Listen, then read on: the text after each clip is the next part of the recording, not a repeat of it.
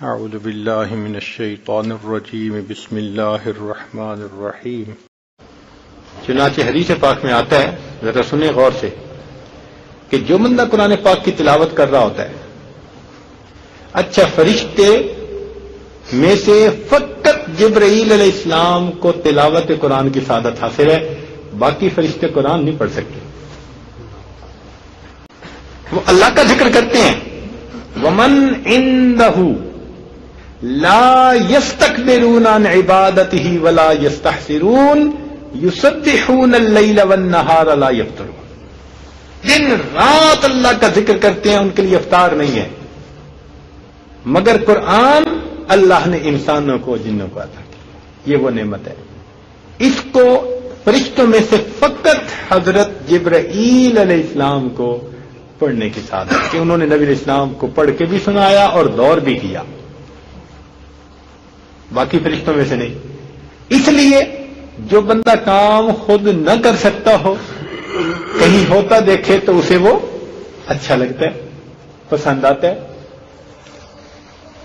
बात समझ आ गई ना? इसलिए जब कोई बंदा कुरान मजीद की तिलावत शुरू करते हैं ना तो फरिश्ते फ़ौरन वहाँ नाजिल होना शुरू हो जाते हैं कि भाई पढ़ तो नहीं सकते तो हम सुने तो सही अल्लाह का कुरान। तो फरिश्ते वहाँ जमा होना शुरू हो जाते हैं। हत्या के उनका जो है लाइन बन जाती है अरशों तक। तो ये तो हदीस पाक पहले भी पढ़ी, लेकिन एक और हदीस पाक पढ़ी, और वो ये कि बस औकात इंसान सुकून के साथ, तसल्ली के साथ अल्लाह का कुरान पढ़ रहा होता है तो फरिश्ते उस कारी के करीब होते होते होते, हत्या के उसके मुँह के साथ अपना मुँह मिला देते हैं। हदीस पाक कहते हैं। इतने फरिश्ते, यानी फरेफ्ता होते हैं ना उस पर कि शौक में अल्लाह का कुरान सुनने के उस बंदे के मुँह पे अपना मुँह रख देते हैं।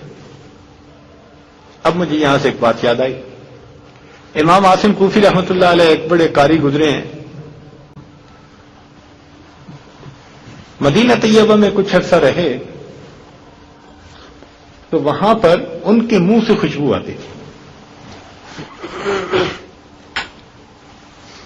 लोग बड़े हैरान होते थे कि भाई, पता नहीं, कारी साहब मुश्क इस्तेमाल करते हैं या अंबर इस्तेमाल करते हैं या कोई चीज़ मुँह में रखते हैं कि इनके मुँह से इतनी खुशबू आती है।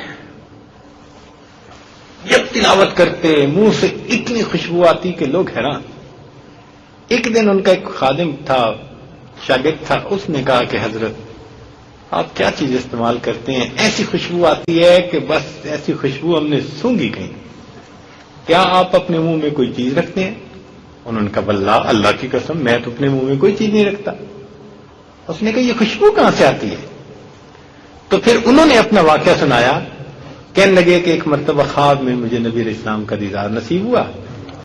तो नबी इस्लाम ने फरमाया कि, आसिम, तू अल्लाह ताला का कुरान इतने अच्छे अंदाज से पढ़ता है लाओ, मैं तुम्हारे लबों को बोसा तो ख्वाब में जब से नबी इस्लाम ने मेरे लबों को बोसा दिया, उस वक्त से मेरे मुँह से खुशबू आती